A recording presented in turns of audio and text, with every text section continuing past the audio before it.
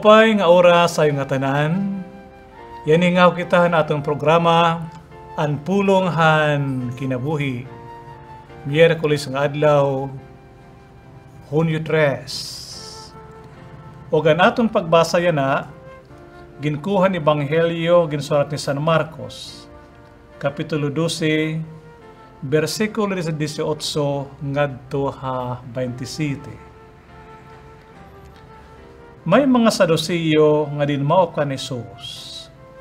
Amon hira ang nasiring nga waray pagkabanhaw. Nagsiring hira. Magturot do, nagsurat si Moises hini nga balaod tungod haamon.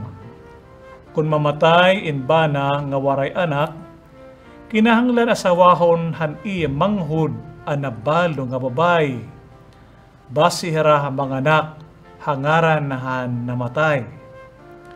Niyan, may dahad tupito nga magburugto nga kalakinan. Nangasawa ang gimagurangi, kundi namatay hiya nga waray anak.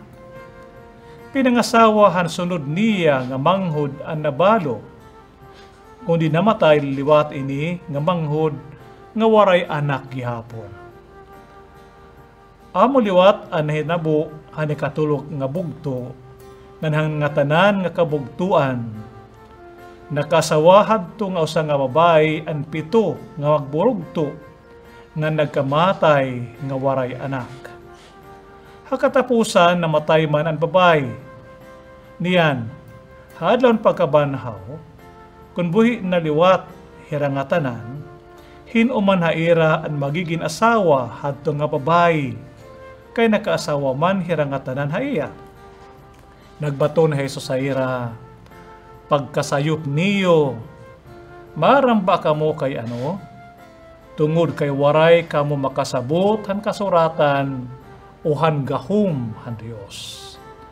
Waray na pangasawa panahon han pagkabanhaw, kay masusugad na han mga anghel halangit ang mga tao. Niyan may tungod ang pagkabanhaw, Wari ba niyo mabasa habasasahan ni Moises, an bahin may tungod naglalaga nga tanong? Ginsurat didto nga nagsiring ang Dios kan Moises, Ama ko ang Dios ni Abraham, Dios ni Isaac, nga ng Dios ni Jacob. Karegsidngon hini, nga amo inihiya ang Dios han mga buhi, diri han mga minatay pagkasayop good niyo. Mo pa nga sumat, hanaton katarwasan.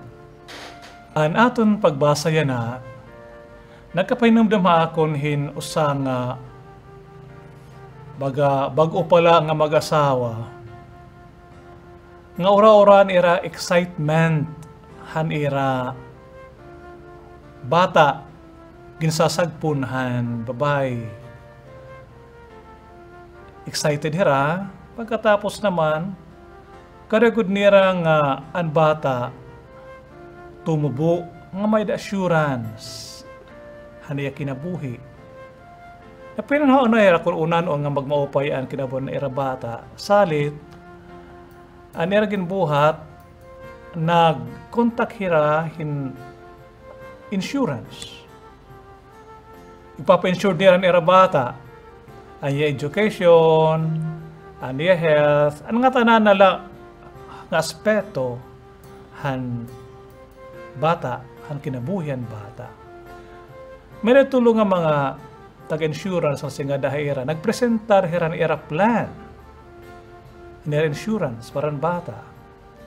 Kunin unfortunately, ang mga kag-anak baga wara ka kontento han mga plano gin hatag han mga insurance. Pero sa nga padi, anira kura paroko, hibaro nga, nagpipinan miling insurance ang mga kagaanak. Ang bata, sinir ang padi. Inay ka mo.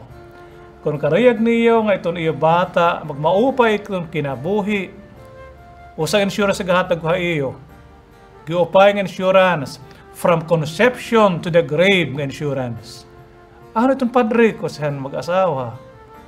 Ang pagkabanhaw ay Kristo insurance naton ko siniya amo ang nabanhaw nga Kristo nga nahatag yung kinabuhi aton. Ang aton pagbasa yan ng Ebanghelyo, naghinabi unonghan mga Sadusiyo. Amin mga Sadusiyo ang mga pinakamag-aram han panahon ni Kristo, pinakamag-aram han mga scriptures and Biblia, nga diri natuod han pagkabanhaw. Salit, pagbitik nira kaniso si unong hini nga pagkabanhaw nga diri nira tinutuoran, naghatag rin kaso kanisos. Kasi nira, may da magburog to pipitong kalakinan, an magurang ng asawahan o sa nga babae, pagkatapos namatay. Pagkatapos sa ikaduha naman nga bugto ng asang babae, namatay na liwat, basta pito hira magburog to, ng asawin pareho nga babae, nga waray mga anak. Katala nagpatay, hasan babae, pakiayan naman nira. Takay, kung may resurrection, kung may da kinabuhi, may da kinabuhi. Kang kung mat asawa, hiya, kay nga tanan man hira ng asawa, hiton nga babae.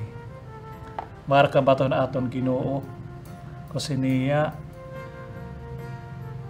waray na pangasawa hapanahunan pagkabanhaw, kay masusugad na mga anghel halangit ang mga tao.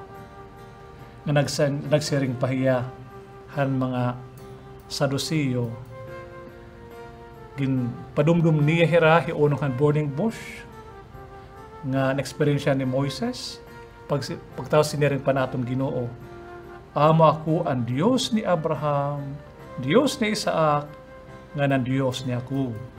Karesidngon, hini, ang amuya ang Diyos ang mga buhi, diri ang mga minatay, tungod kay nga tanan, buhi sa Diyos.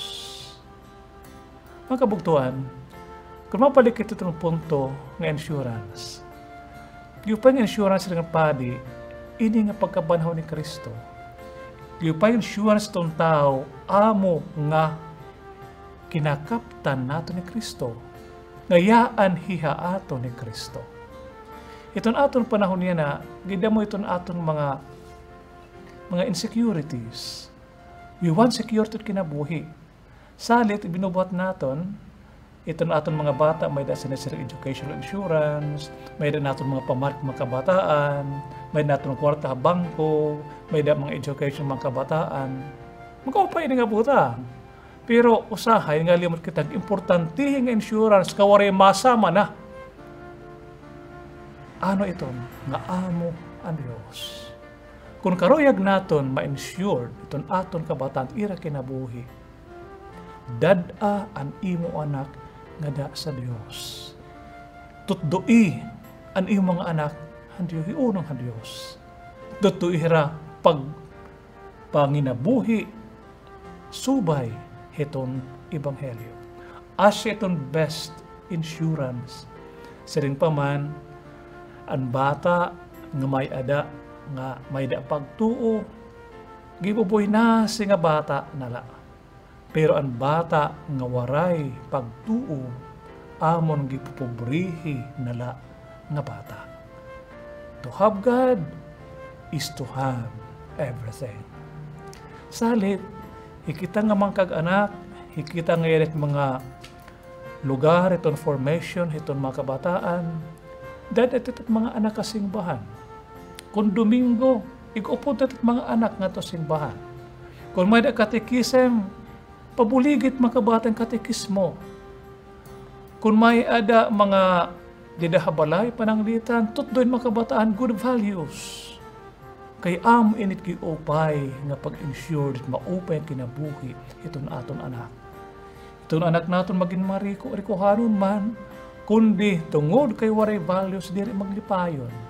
Iton mga anak mga professional man pero kun waray nira pagtuo sayang iton ira kinabuhi. God is the best insurance. Inamdam ako, han, day pa ako, mga happy memories sa ako nanay. May da, may istorya na kingangalimot. Kasi niya, ang day pa kami, nag-istorya hinus, hinusang uh, periso nga baga gin paparid na kay papatayon hiya tungod hin krimen nga igin buha